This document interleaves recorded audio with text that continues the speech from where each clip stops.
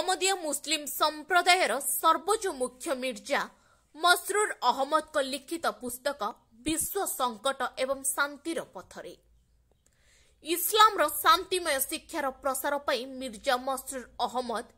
ବିଶ୍ୱବ୍ୟାପୀ କିପରି ଅଭିଯାନ ଚଳାଇଛନ୍ତି ତାହା ଏହି ପୁସ୍ତକରେ ଉଲ୍ଲେଖ କରିଛନ୍ତି ବିଶୁଦ୍ଧ ଓ ବାସ୍ତବ ଶିକ୍ଷାକୁ କିପରି ବିଶ୍ୱବାସୀଙ୍କ ନିକଟରେ ପହଞ୍ଚିବ ସେଥିପାଇଁ ସେ ଅନବରତ ପ୍ରୟାସ ଜାରି ରଖିଛନ୍ତି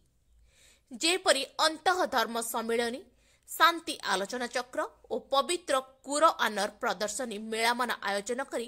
ଏହାର ସତ୍ୟ ଏବଂ ତାତ୍ତ୍ୱିକ ଶିକ୍ଷାକୁ ଉଭୟ ମୁସଲିମ ଏବଂ ଅଣମୁସଲିମ ସମ୍ପ୍ରଦାୟର ଲୋକମାନଙ୍କ ମଧ୍ୟରେ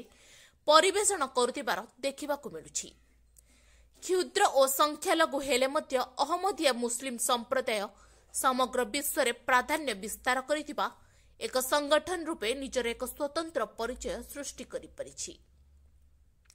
ହଜରତ ମିର୍ଜା ଯେଉଁ ସବୁ ନୀତିଗତ ଉପଦେଶ ପ୍ରଦାନ କରୁଛନ୍ତି ତାହାକୁ ଆମେ ତାଙ୍କ ଲିଖିତ ପୁସ୍ତକଟିକୁ ପାଠ କଲା ପରେ ସମୀକ୍ଷା କରିଛୁ। ବିଶ୍ୱ ସଙ୍କଟ ସମାଧାନ ଦିଗରେ ଇସଲାମୀୟ ଦୃଷ୍ଟିକୋଣ ଇସଲାମ ଧର୍ମରେ ଦେଶପ୍ରେମ ଓ ଅନୁରକ୍ତି। ଏକ ପରମାଣୁ ଯୁଦ୍ଧର ଭୟାବହ ପରିଣତି ଏବଂ ସମ୍ପୂର୍ଣ୍ଣ ନ୍ୟାୟର ସର୍ବୋଚ୍ଚ ଆବଶ୍ୟକତା ଶାନ୍ତିର ମାର୍ଗ ହେଉଛି ରାଷ୍ଟ୍ର ରାଷ୍ଟ୍ର ମଧ୍ୟରେ ନ୍ୟାୟିକ ସମ୍ପର୍କ। ବେଲଜିୟମଠାରେ ଖଲିଫ ତାଙ୍କ ଉଦ୍ବୋଧନରେ କହିଥିଲେ ବିଶ୍ୱ ଏକତା ହେଉଛି ଶାନ୍ତିର ଚାବିକାଠି ବର୍ତ୍ତମାନ ଦ୍ରୁତ ଗତିରେ ଧାବମାନ ହେଉଥିବା ଆସନ୍ନ ବିପଦ ପ୍ରତି